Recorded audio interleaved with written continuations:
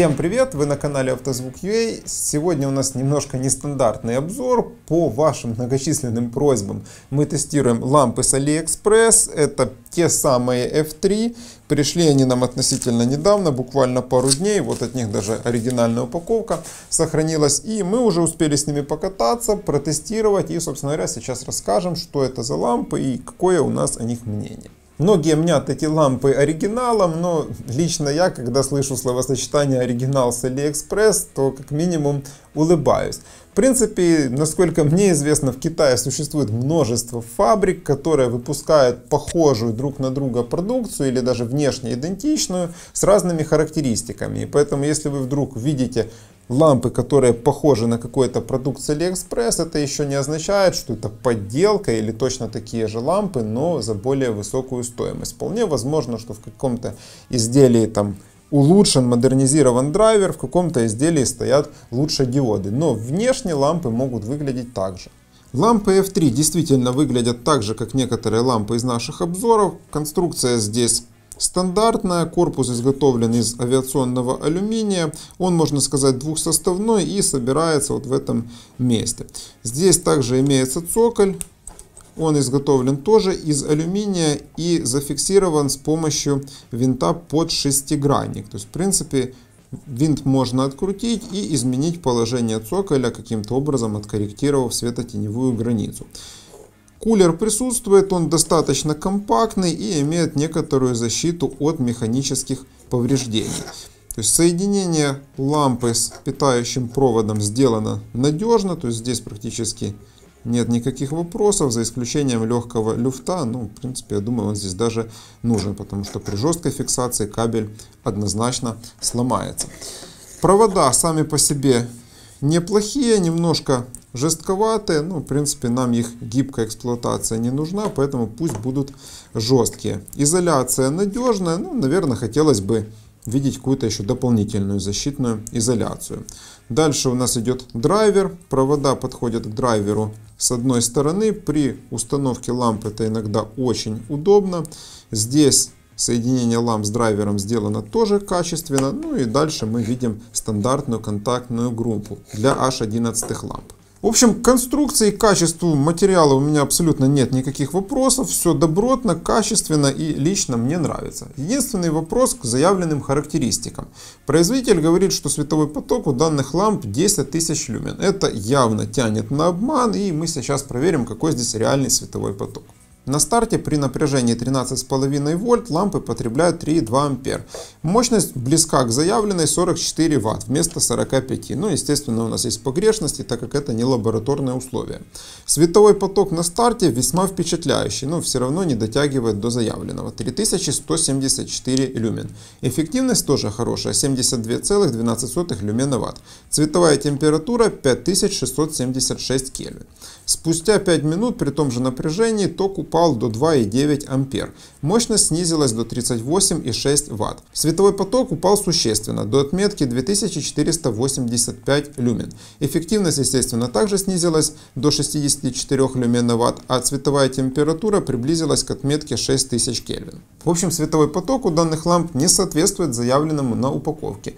И за 5 минут работы он упал примерно на 700 люмен, что может говорить о не совсем корректной работе драйвера или системы охлаждения. Но все равно световой поток 2500 люмен, на мой взгляд, это очень впечатляющий показатель для ламп из такого ценового сегмента. Также есть небольшое несоответствие цветовой температуры. Вместо заявленных 6500 Кельвин мы имеем 6000 Кельвин. Но это скорее даже плюс. Данные лампы оснащены цоколем под H11 лампу. Ну и соответственно они подходят для нашей фары от Ford Fusion, которая уже установлена на автомобиль. И сейчас мы покажем, как данные фары в линзованной оптике Ford Fusion светят на дороге. А также подъедем к какой-нибудь стене и посмотрим на их светотеневую границу.